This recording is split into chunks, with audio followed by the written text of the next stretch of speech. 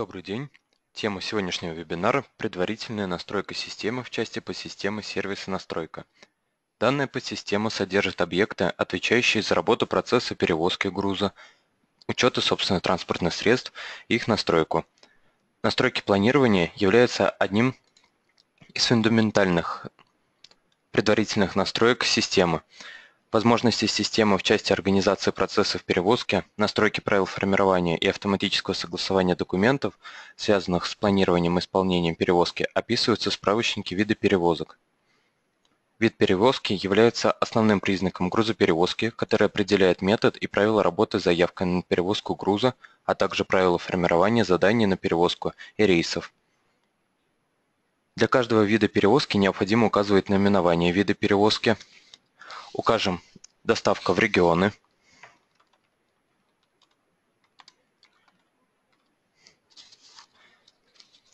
И отобразим параметр «Информация о грузовых местах вводится в заявку на перевозку». В системе предусмотрено четыре способа ввода информации о грузовых местах. Это не вводится. Данный способ ввода информации предоставляет возможность работы заявкой как с единым грузом, то есть информация о самих грузовых местах не вводится, вводятся в заявке на перевозку. В данном случае информация о грузе вводится сразу в заявку на перевозку груза с возможностью детализации до грузовых мест. Для каждого грузового места можно также указывать различные точки погрузки или разгрузки. Вводится в задание до планирования рейса. Информация о грузе ведется в разрезе грузовых мест, что позволяет планировать несколько рейсов в рамках одного задания и также вводятся в задание до начала выполнения рейса. В данном случае планирование рейсов ведется по заявке в целом, но информацию о грузе возможно вводить в момент формирования рейсов. Настройки заявки на перевозку груза используются для определения правил формирования заявок на перевозку груза. В случае, если в системе необходимо согласование заявки на перевозку груза, то необходимо установить флаг перед соответствующим параметром. Требуется согласование заявки на перевозку груза. Таким образом, заявка должна пройти процесс согласования внутри компании. Также возможно установить флаг напротив поля автоматически передавать согласованные заявки к исполнению. Для того, чтобы дать возможность для каждого грузового места указывать различные точки погрузки или разгрузки заявки на перевозку груза, необходимо проставить следующие флаги. Это возможно указание различных точек погрузки в заявке и также возможно указание различных точек разгрузки заявки.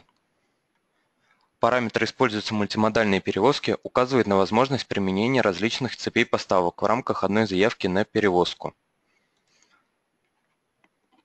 Также, если необходимо запретить перевод заявки к выполнению без рассчитанных плавных доходов, необходимо проставить данный параметр. Таким образом, система будет контролировать расчет плановых доходов.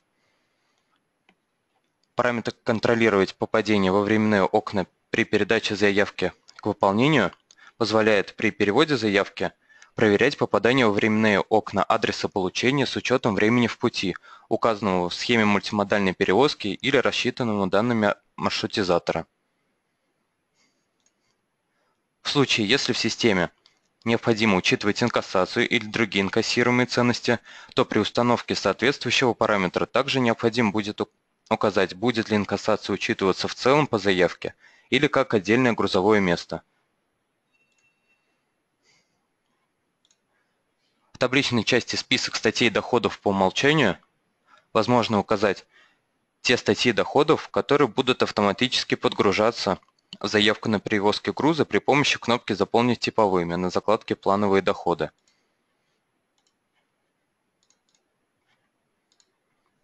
Настройка задания устанавливается флаг в случае, если необходимо запретить создание задания на перевозку груза без соответствующей заявки.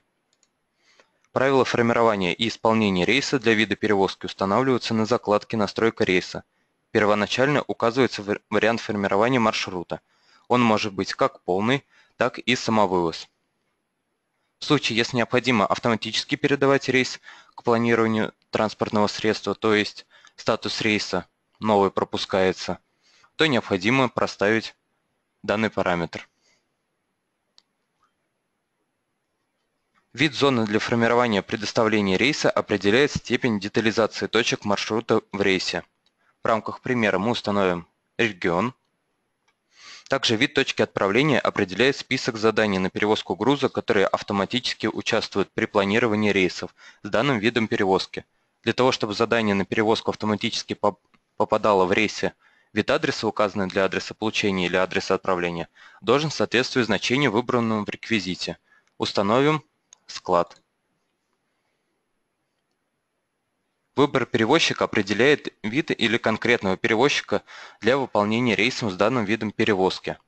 Например, это может быть способ перевозка собственными транспортными средствами, также указать определенного перевозчика, также непосредственный Выбор в рейсе уже может быть обязательно оформление тендера, либо определить для каждого рейса индивидуально. Параметр выбора транспортных средств указывает на порядок назначения транспортных, транспортных средств на рейсы. Возможно обязательное оформление заявок на транспортные средства и опять же непосредственный подбор в рейсе. Для каждого вида перевозки возможно указать пакет регламентных документов, которые необходимо получить, передать, либо вернуть в ходе исполнения перевозки. По необходимости также возможно указать, можно создать новый, либо выбрать уже имеющийся. Для каждого пакета регламентных документов необходимо дать название, например, это будет стандартный пакет – и необходимо добавить информацию в табличную часть. Мы указываем тип документа, например, это документ TOR-12. Мы указываем, что грузоотправитель, мы от него должны получить, получить 4 документа. Также этот документ TOR-12 мы должны передать грузополучателю в количестве двух экземпляров. И можем указать, что для заказчика перевозки также необходимо передать два экземпляра и возврат, например, документов производится после исполнения рейсов, отображается у нас в системе. Если мы указали пакет регламентных документов, также актуально будет проставить параметры запрещено завершение рейса при наличии недопущенных документов. Также способ учета возвращаемых документов выбирается в соответствующем поле. Это может быть с точностью до экземпляров документов, тогда ведется учет в разрезе номера документа и даты документа, либо с точностью до типов документов.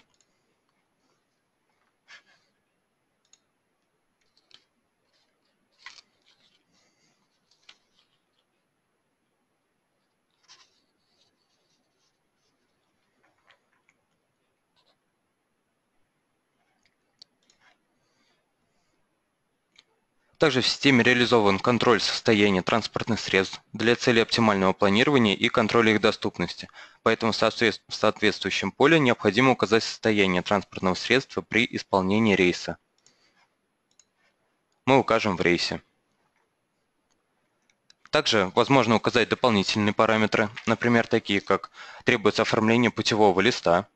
Также возможно контролировать графики работы водителей при передаче рейса к выполнению – Можем пересчитывать плановое время а, посещения точек и указать доступный период отклонения от планового времени. Например, 30 минут.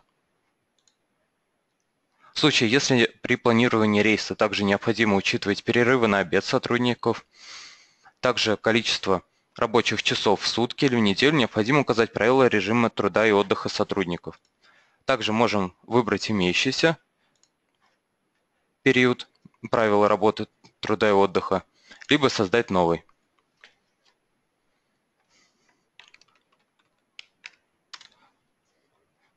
В случае, если в рейсе используется несколько водителей, также необходимо установить данный параметр. Установим длительность рабочего дня 8 часов. Также количество рабочих часов в неделю 40. Также перерывы для отдыха и питания мы установим что этих перерывов 2 по 30 минут. И также укажем, с какого момента необходимо предоставить сотруднику водителю перерыв. Укажем 3 часа. Также существуют специальные перерывы во время рейса. Мы укажем, что они по 15 минут. Первый перерыв дается через 2 часа, все последующие через полтора часа работы по рейсу. В случае, если мы используем инкассацию в заявке на перевозку груза для данного вида перевозки, либо используется тара, то необходимо проставить правила связи типов груза. Для этого мы создаем правило, даем наименование,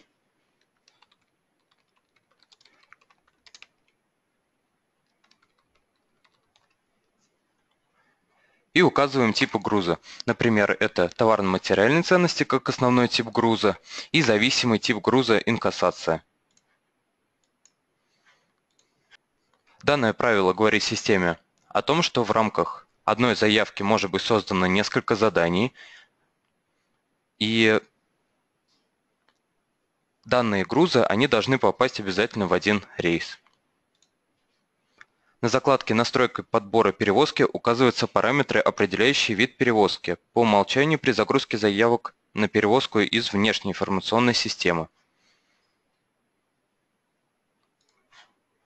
После того, как мы занесли всю информацию по виду перевозок, мы ее сохраняем. Для правильного формирования задания на перевозку груза при использовании мультимодальных схем в соответствующих заявках на перевозку в системе необходимо указать информацию о самих схемах мультимодальных перевозок.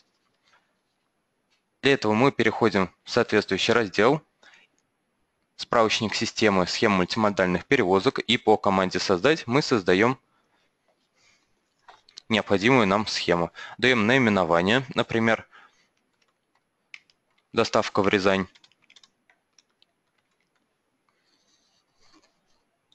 В данном окне мы видим схему маршрута, где ее необходимо будет уже отредактировать пользователем так, как это необходимо. Мы добавляем точку маршрута, указываем, что зона отправления, допустим, Москва. По необходимости мы можем указать адрес отправления. Также мы указываем перевалочный пункт, например, это склад основной. И вторым плечом маршрута мы указываем зону получения Рязань. Также для данной схемы необходимо указать вид перевозки для каждого плеча маршрута. Например, для первого плеча это будет доставка на региональный хаб. И для второго плеча это уже будет развоз по регионам. Для того, чтобы правильно подобралась данная схема мультимодальной перевозки, также необходимо установить дополнительный отбор. Например, дополнительный отбор происходит для тех заявок, у которых вид перевозки – доставка в регионы. Так как каждая перевозка подразумевает перевозку какого-то определенного груза, то системе необходимо ввести информацию о типе груза. Данная информация вводится в соответствующем справочнике типа грузов.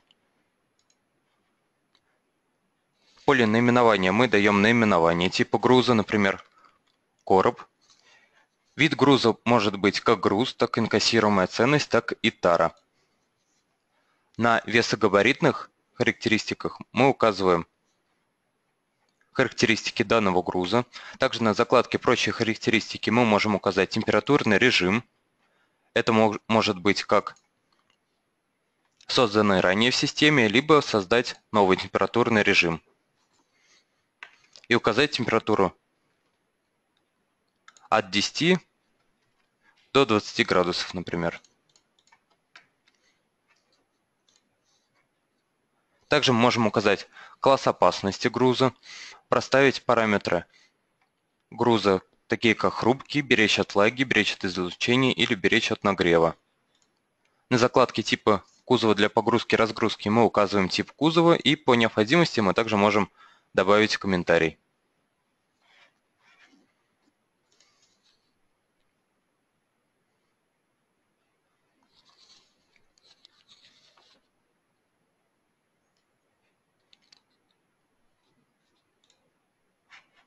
При выполнении операции с грузом возможны некоторые проблемы в точках погрузки или разгрузки. Для этого в системе также предусмотрен справочник проблемы в точке, где мы можем указать информацию о возможных проблемах.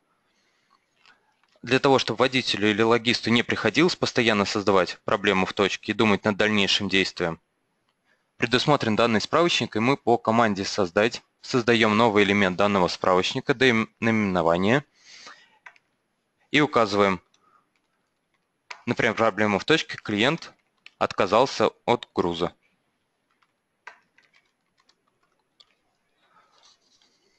Указываем, на каком типе операции возможна данная проблема. Если не указывает, то данная проблема может использоваться при отмене задания из рейса целиком. Либо мы можем указать, что данная проблема происходит по разгрузке. Также это возможно по погрузке, передаче документов, получению документов, дополнительной операции, также передаче ценностей и выемки ценностей.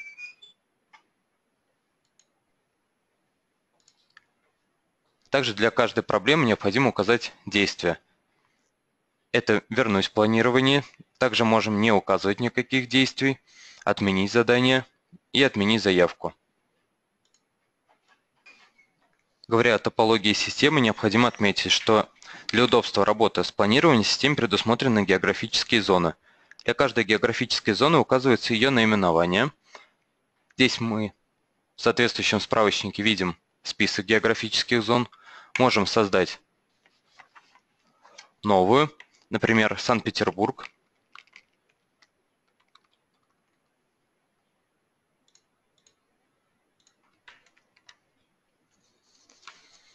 Зоне родителей мы указываем зону, стоящую выше по иерархии. Также указываем вид зоны, например, регион. Выбираем страну Россия. Выбираем регион, который у нас уже есть в списке регионов. Также можем подобрать из классификатора регионов по соответствующей команде.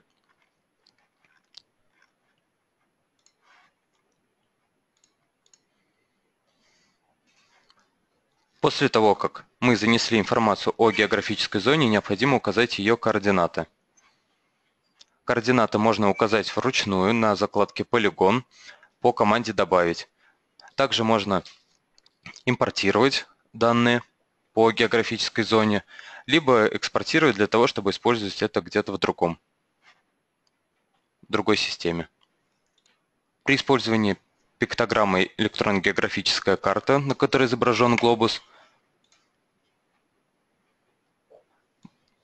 мы переходим на электронную географическую карту, где мы можем указать область нашей географической зоны вручную.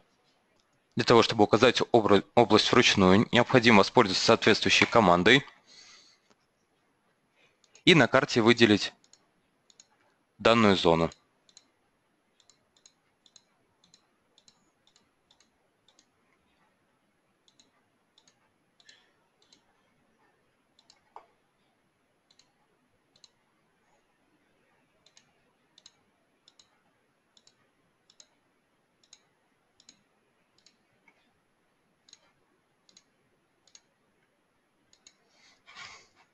После того, как зона выделена, мы завершаем редактирование. Возвращаемся обратно в окно создания географической зоны и видим, что на закладке полигон у нас уже отобразилась информация по координатам данной зоны. Для того, чтобы производить регламентный расчет расстояния между точками зоны, необходимо также проставить данный флаг напротив соответствующего параметра – также для, для корректного планирования рейсов с учетом местоположения транспортного средства относительно данной зоны необходимо также проставить соответствующий признак. После того, как мы занесли всю информацию о географической зоне, мы записываем и выходим из окна создания. Все адреса в системе имеют привязку к виду адреса, который дает определенный набор свойств. Поэтому в соответствующем справочнике вида адресов мы создаем вид адреса. Для каждого вида адреса необходимо указать наименование. Например, это будет сетевой магазин.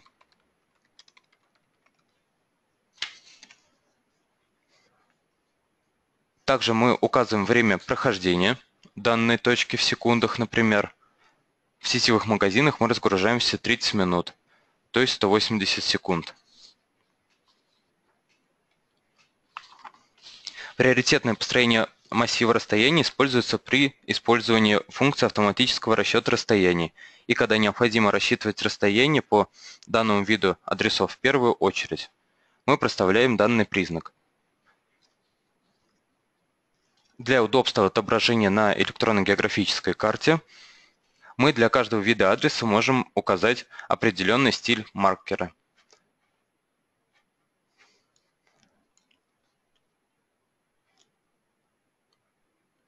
Также при помощи мест интереса в рабочем месте планирования рейсов на электронной географической карте возможно вывести на карту места, стандартно не отображаемые на картах по умолчанию, например, автозаправочные станции, стоянки. Для этого мы создаем место интереса, например, стоянка.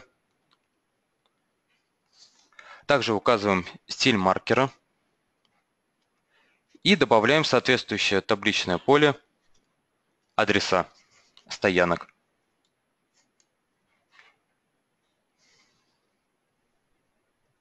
Для того, чтобы внести информацию в систему о адресах, мы можем перейти в справочник список, список адресов и создать необходимый нам адрес. Например, Москва, улица Докукина, дом 18.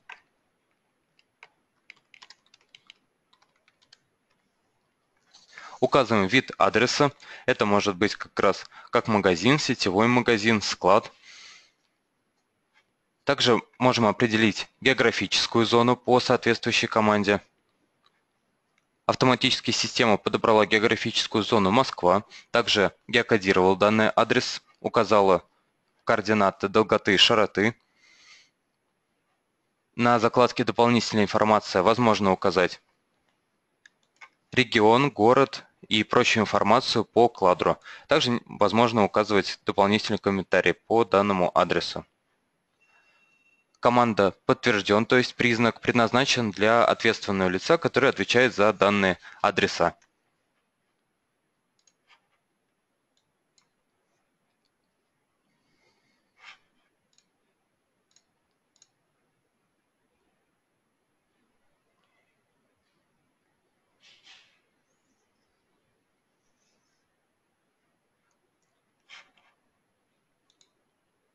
Для расчета доходов и расходов предприятия от оказания услуг перевозки грузов для каждой статьи доходов и расходов могут быть указаны правила расчета финансовых показателей. Для этого предназначен тарификация. В первоначальной системе необходимо ввести статьи доходов и расходов. Указываем тип статьи. Это может быть как доход, так и расход. Например, для расхода мы указываем наименование зарплаты водителю.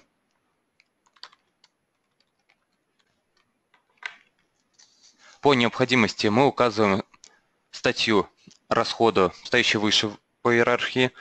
Также можем указать полное наименование. В данном случае мы отобразим такое же. Также необходимо указать правила распределения. Правила распределения можно выбрать уже созданные в системе. Также можно создать новое например, пропорционально параметру масса.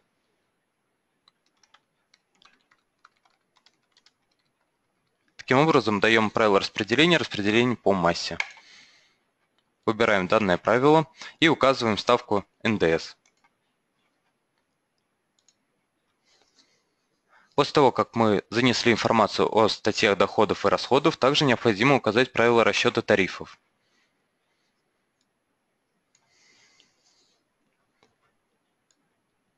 Соответствующем окне правила расчета мы указываем наименование,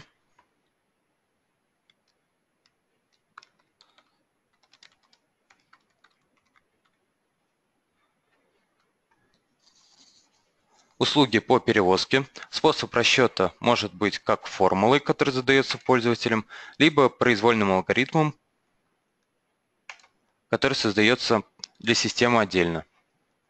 В случае способа расчета формулы необходимо использовать показатели. Показатели могут быть как созданы уже в системе, также можно создать их дополнительно вручную. Например, дадим показатель масса. Данный тип показателя установим расчетный, также может быть и фиксированный. Указываем параметры расчета масса груза. Также возможно указать фиксированный показатель расчета. Установим тариф за перевозку.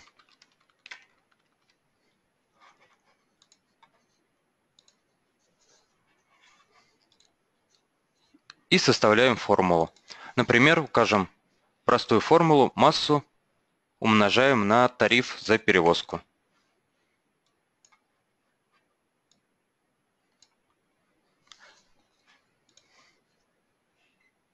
Для того, чтобы установить значение фиксированных показателей, необходимо перейти в соответствующий справочник.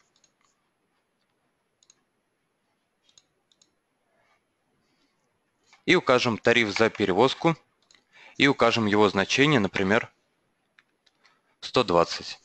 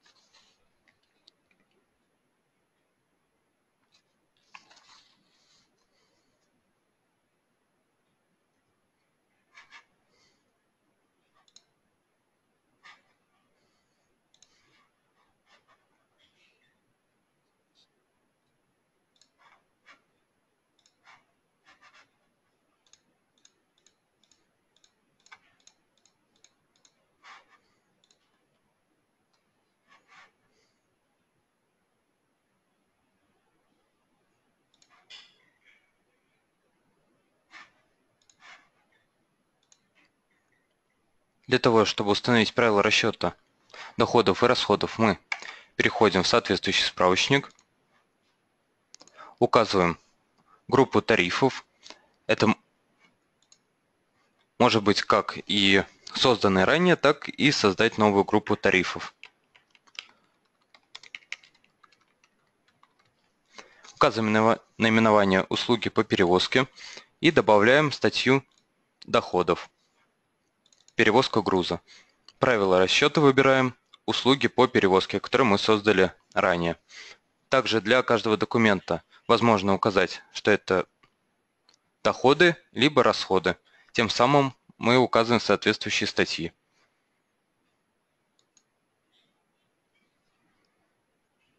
Для упрощения работы пользователя в системе предусмотрены регламентные события, которые также Необходимо в соответствующем справочнике типы событий. По команде «Создать» мы даем наименование, например, «Создать задание» на основании заявки на перевозку груза.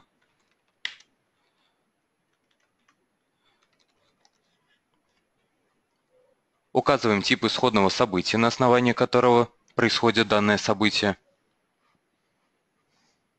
Например, изменение статуса заявки на перевозку. И в табличной части отбора мы указываем статус заявки на перевозку к выполнению. Также необходимо указать настройки обработки. Время обработки устанавливаем сразу и указываем алгоритм обработки. Это может быть как оповестить пользователя, также отправить смс-сообщение пользователю, также передать задание к планированию, передать заявку к выполнению. Это может быть произвольный алгоритм. Также возможно рассчитать плановые доходы, согласовать заявку и создать задание на перевозку груза.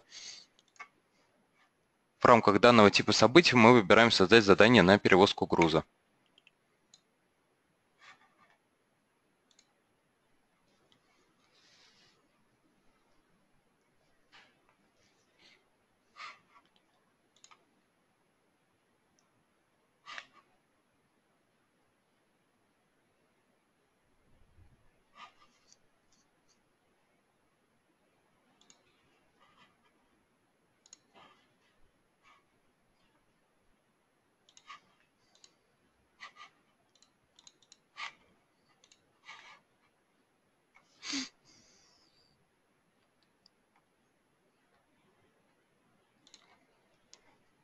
Также в каждой заявке на перевозку груза возможно указать дополнительные операции. Дополнительные операции хранятся в соответствующем справочнике список дополнительных операций.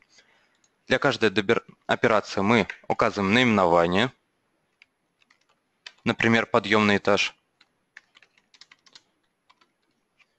Указываем время выполнения операции, например, это полчаса.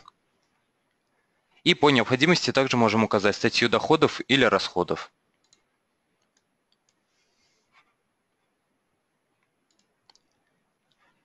Также в системе предусмотрен учет документов. Данный учет документов также настраивается через раздел «Сервис» и «Настройки» соответствующей группе. Пакет регламентных документов мы уже заполняли в виде перевозки. Также есть шаблоны пакетов печатных форм. Шаблоны пакетов печатных форм предназначены для печати единого пакета документов после того, как у нас сформированы уже рейсы. Шаблоны пакетов печатных форм могут создаваться как на основании документа рейс, так и на основании задание на перевозку груза. В данном случае, если мы используем вид документа рейс, то пакет печатных форм смотрится по перевозчику, партнеру-перевозчику, который мы ему укажем. В случае, если вид документа задания на перевозку груза, то указывается получатель груза. Даем наименование стандартный пакет для получателя – И в соответствующей табличной части мы указываем печатные формы, которые нам необходимы. Также по необходимости мы можем установить порядок печати, количество экземпляров. И в колонках количество вернуть мы указываем то количество документов, которые необходимо будет вернуть для данного партнера. И также тип регламентного документа. Например, как для документа TOR-12 были созданы определенные настройки. Например, способ определения номера экземпляра возможен по номеру, номеру KISS в случае, если используется интеграция с другими системами, либо по формуле. Такие же варианты способа определения даты экземпляра. Внутренняя дата документа системы, либо дата документа корпоративной информационной системы, либо заданная по формуле.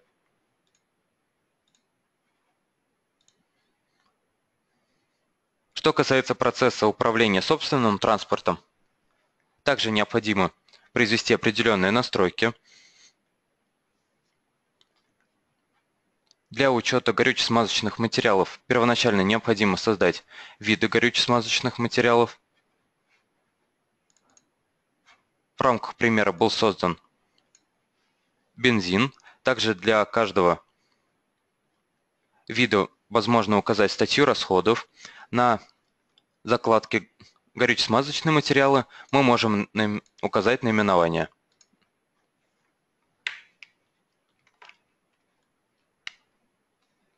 Например, также указать единицу измерения, единица измерения справочник непредопределенный и возможно подобрать как из классификатора единиц измерения, так и из с помощью ручного добавления.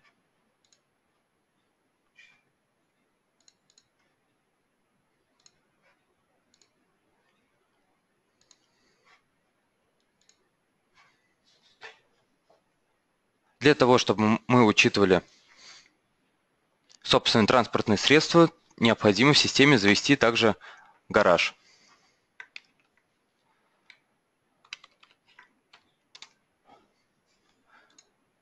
Указываем адрес гаража. В случае, если адрес не заведен, можно сразу из данного окна создания гаража создать адрес.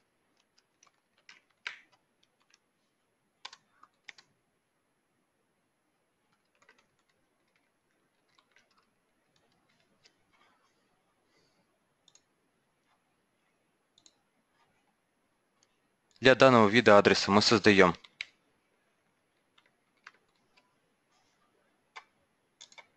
вид адреса гараж, определяем географическую зону и указываем в соответствующем поле. По необходимости также для каждого гаража возможно указать график работы. График работы заполняется в соответствующем поле. Мы даем наименование графику работы. Также указываем период заполнения графика.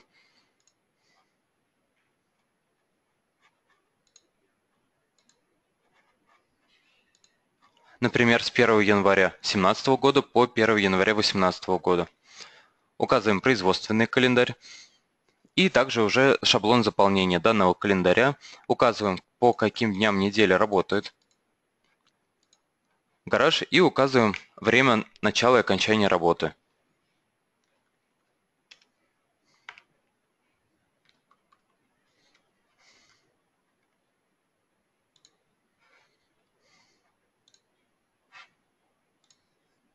Также возможно указать способы заполнения либо по неделям, либо по циклам и указать количество дней. Также по признаку «Учитывать графики» возможно указать расписание праздничного дня. Например, график работы гаража в праздничные дни составляет с нуля часов по 6 по 18.00. После того, как мы ввели всю информацию, можем по соответствующей команде увидеть результат заполнения графика. Для каждого гаража мы можем указать настройки оповещения, например, предупреждать о наступлении срока технического осмотра за определенное количество дней, либо за определенное количество километров, и указать количество сотрудников, которые привязаны к данному гаражу, указываются водителя. Для того, чтобы в системе ввести учет ремонтов, необходимо в справочнике вида ремонтов создать ремонтные работы. Мы даем наименование, например, технический осмотр. Указываем тип ремонта. Это может быть как замена агрегатов, монтаж оборудования, монтаж прицепов, плановый технический осмотр и ремонт. Указываем статью расходов. В случае необходимости также возможно создать статью расходов, например, ремонт.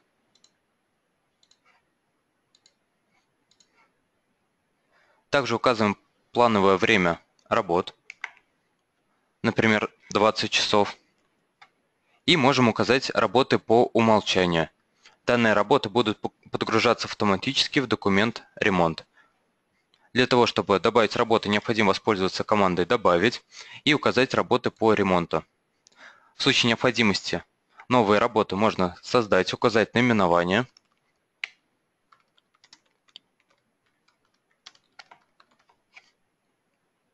По необходимости возможно указать модель транспортного средства, для которого предназначены данные работы по ремонту, и также плановое время выполнения данной работы например, 30 минут. После того, как мы зафиксируем информацию по работе по ремонту, возможно указать цену работы. Для этого мы переходим в соответствующий раздел и указываем стоимость.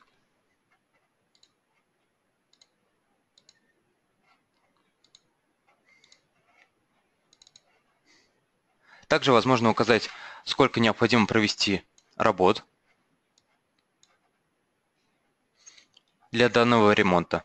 После того, как мы выбрали все работы по ремонту, система также предлагает пересчитать плановое время работ по данному виду ремонта с учетом времени, необходимого для выполнения работ.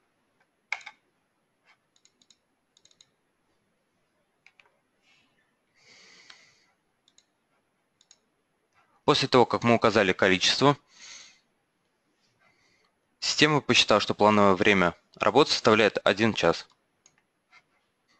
После того, как мы завели информацию о гаражах и ремонтах, необходимо указать места ремонта, то есть где будет производиться ремонт. Мы выбираем соответствующий гараж и указываем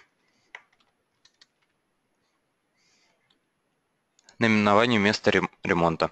Также для, для каждого места ремонта возможно указать тип транспортного средства. Для выполнения ремонта потребуется возможно определенные запчасти. Запчасти добавляются в соответствующем справочнике запчасти по команде «Добавить». Мы указываем наименование.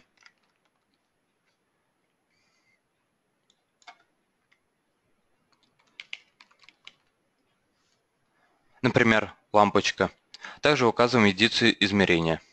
Также для каждой запчасти возможно указание определенной модели транспортного средства. На соответствующей вкладке «Цены запчастей» возможно указать цену и сохраняем информацию. Также в справочнике «Топливные карты» возможно создать топливную карту, указываем ее номер. Для каждой топливной карты возможно создать определен, указать определенного партнера – указать срок действия и пин-код по данной карте. Также возможно указать, какой вид топлива используется по данной топливной карте. В группе настроек норма расхода в справочнике нормы расхода горюче-смазочных материалов по команде «Создать» возможно создать норму расхода. Даем наименование, стандартное, также указываем тип нормы расхода на каждые 100 км, на, либо на каждый час работы. Указываем расход топлива, например, 17. Также указываем изменения расхода на каждые 100 километров.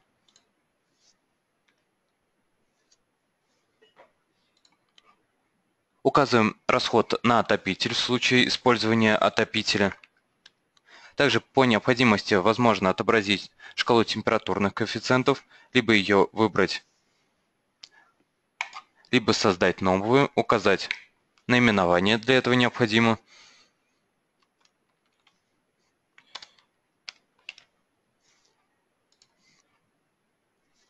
И указать значение шкалы.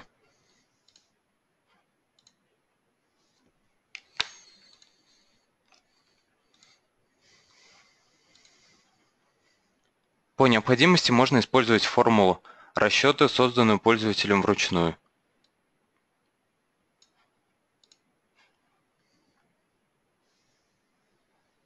Также для учета режима труда и отдыха водителя необходимо создать карты тахографа. Карты тахографа создаются либо автоматически при загрузке данных тахографа, либо возможно создать пользователя вручную. Для этого мы указываем сотрудника, имя и фамилию сотрудника, также орган, выдавший карту, информацию по временным показателям, дату выпуска карты, дата начала действия карты и дата окончания действия карты. Список мобильных устройств, при помощи которых можно подключаться к информационной базе через мобильного клиента и трекеров, данные из которых регистрируются в информационной базе, хранятся в справочнике «Мобильные устройства и трекеры» по команде создать возможность создания элемента справочника.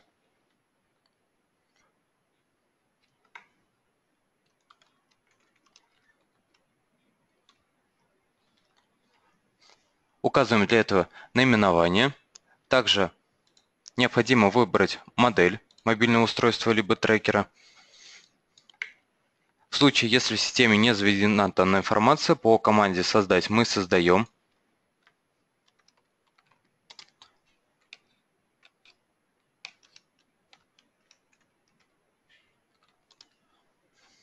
Указываем также тип устройства, либо это трекер, либо это Android клиент.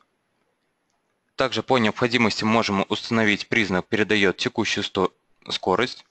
По команде «Добавить» мы указываем номера датчиков. Также необходимо добавить сам датчик.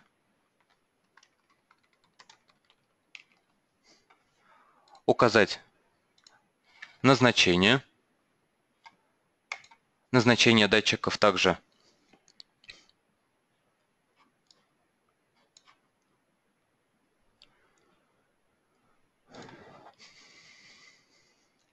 необходимо указать назначение датчика. Выбираем значение скорости. По необходимости также можем выбрать вид горюче-смазочного материала, если это в данном, датчике, в данном датчике необходимо. Также по необходимости можем установить калибровочный график, который также создается в системе вручную, где указывается входная информация и выходная уже понятная для нашей системы. По необходимости можем указать номер сим-карты, если мы используем мобильное устройство, и также сервер сбора данных. Перечень серверов, которые используются для сбора данных с трекеров, установленных на транспортные средства, также указаны в справочнике сервера сбора данных.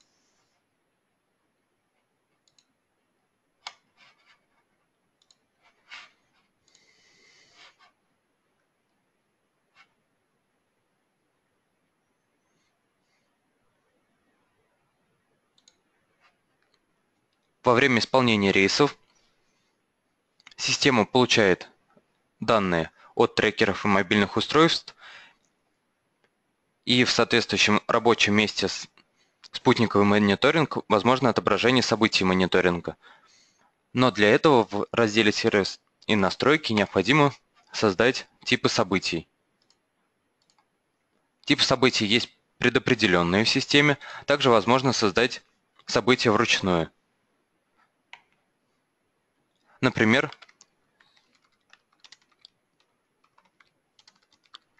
изменение маршрута по рейсу.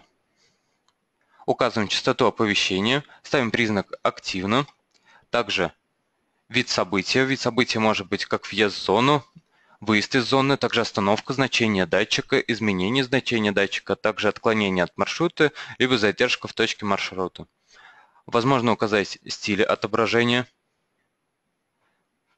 И указываем расстояние в метрах погрешность допустимую для системы, например, 100 метров. Для каждого типа событий мониторинга возможно добавить определенное транспортное средство.